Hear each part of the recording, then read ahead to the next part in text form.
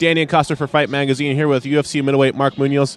Mark, uh, you had a hard fought loss against Yushin Okami. Uh, what did you take away from that going into your fight with Aaron Simpson? Man, I just took away the experience, man. You know, I mean, he uh, basically gauged the distance really well.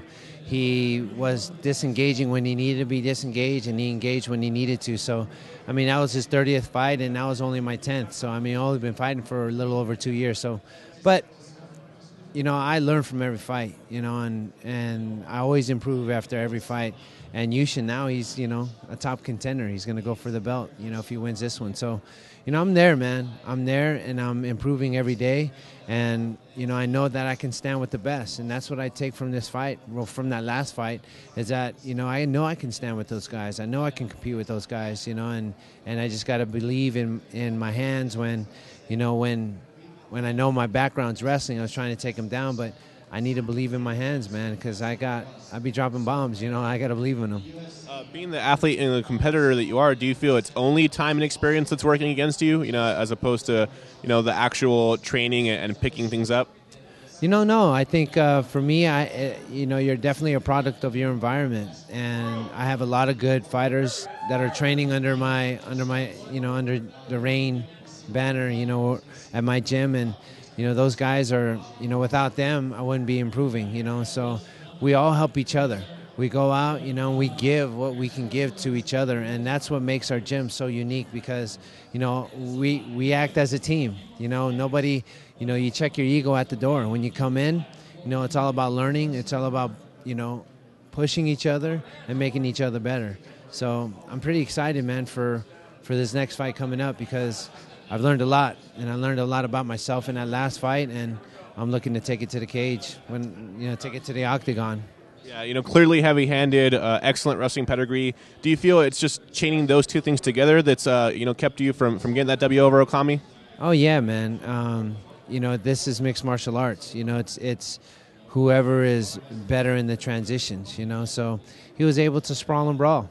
You know, basically, and and you know what? I, I didn't know you got points for for stuffing shots. You know, I was trying to take him down because you know, for me, you know, I feel comfortable on top, and you know, I was trying to take him down. But you know what?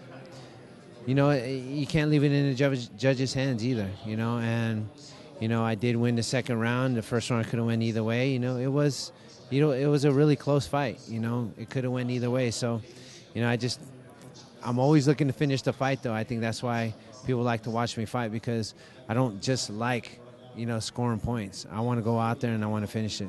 How familiar are you with Aaron Simpson uh, from your wrestling days? And also, you know, what do you feel he brings to the table as a competitor, and how are you going to overcome that? Yeah, me and Aaron going back, man. We're we're actually good friends, and um, when I when I got the call to fight Aaron, I was like, oh man, that sucks, dude. There's so many guys to fight, and I got to fight my buddy, you know. But we're both professionals, and you know we we gotta we, we gotta go out there and, and put on a show, you know, because uh, that's what we do. Now here's a funny story. Back in about 2006, we were both coaching. I was coaching for UC Davis.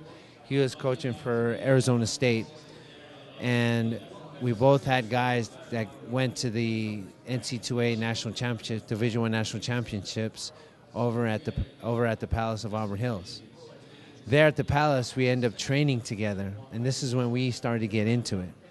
And we end up like, hey man, we should do MMA. We should do some, you know, some some stand up. You know, we should do some wrestling too.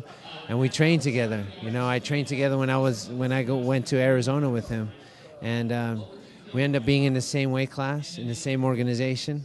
And now the place where we trained together, first started training, we're actually going to fight each other at the Palace of Auburn Hills. Funny story, right? Yeah. So who got the uh, the better of who in that in that exchange initially when you guys first started uh, grappling and doing stand up?